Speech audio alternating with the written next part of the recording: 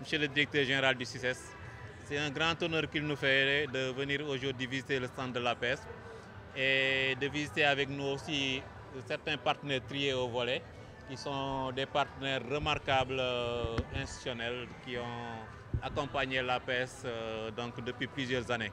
Il s'agit donc d'institutions comme la Sénélec, donc l'ADE, l'Agence de développement de l'informatique de l'État, donc la SN, la Poste, euh, qui est aussi au niveau du ministère de la Communication et des Télécommunications, donc avec d'autres partenaires institutionnels euh, et des médias publics comme la RTS et le Soleil également que nous avons visités.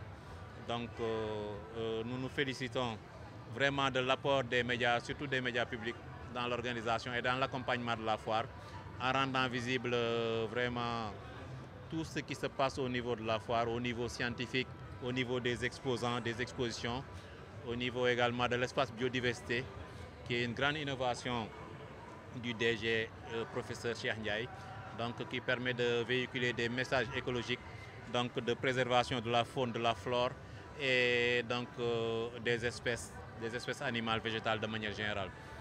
Donc euh, c'est une foire qui a une dimension commerciale, économique, mais aussi pédagogique, une dimension environnementale extrêmement importante.